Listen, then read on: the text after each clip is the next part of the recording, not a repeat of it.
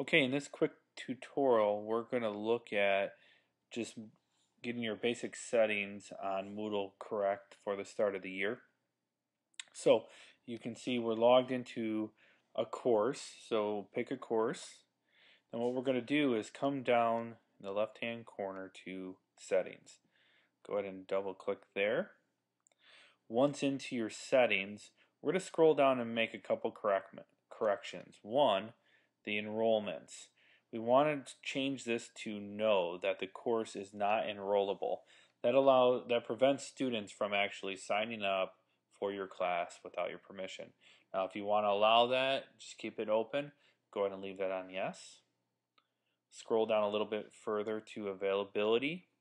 And here, by default, we've hidden all classes from being viewed. So when you're ready for your class to be shown to students, go ahead and change that to this course is available. Now, this also right here allows you to change guest access. So if you'd like parents to be able to log in and take a look at your site, go ahead and turn on allow guest who have the key. Type in a key. I would suggest maybe the teacher's last name or the course name into this box